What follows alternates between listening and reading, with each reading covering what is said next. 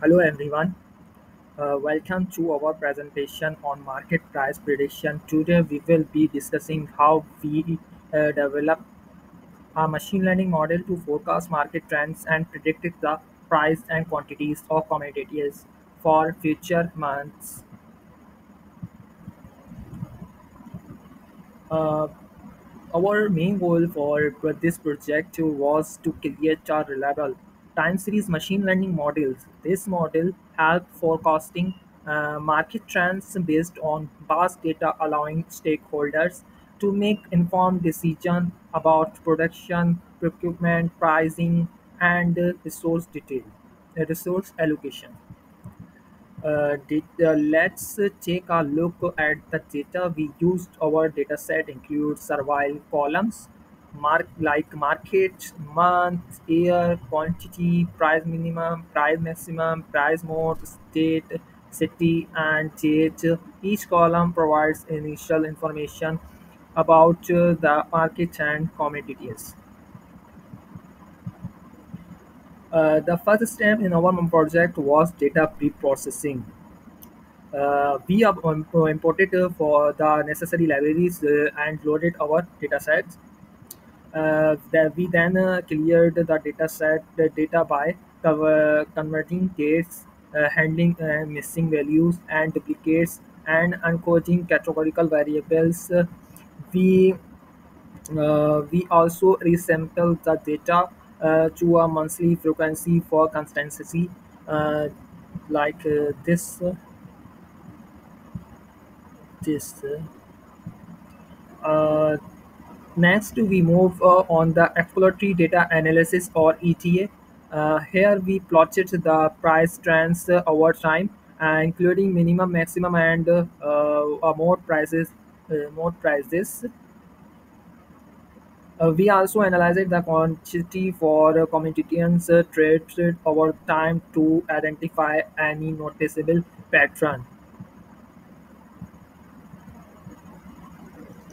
In the slides, we performed a more detailed analysis. Uh, we uh, decomposed the quantity data into trend, seasonal, and residual components uh, to understanding underlying patterns. We also create a scatter plot to visualize the relationship between quantity and different prices matrices. Additional, we used Z-score to detect uh, anomalies in the quantity data.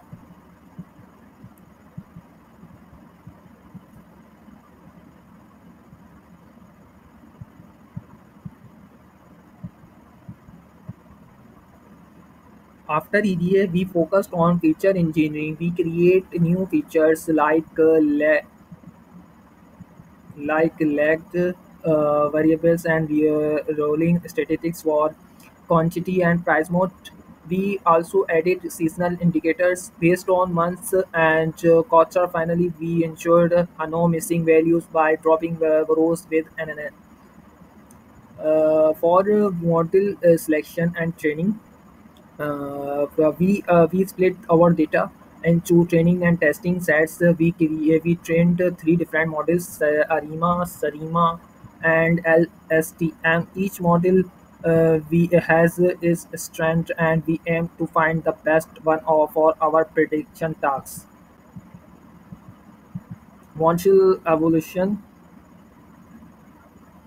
Uh, evaluating our models we was crucial. We used mean absolute error, mean squared error, and root mean square error to assess the performance. Here are the result for each model.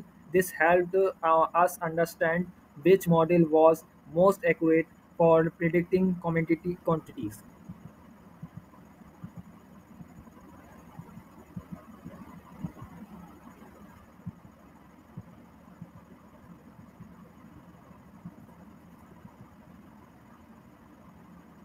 Here we uh, here you can see the comparison between the actual and predicted quantities for Sarima, uh, Arima, and LSTM models. Virtualizing these results make it clear how well each model performed and helps uh, us identify the best one of- for our needs.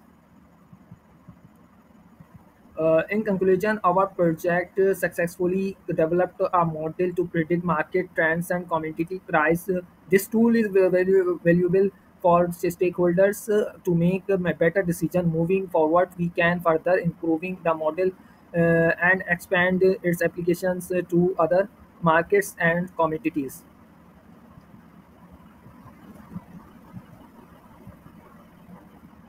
Thank you for your attention. We hope you found our presentation informative.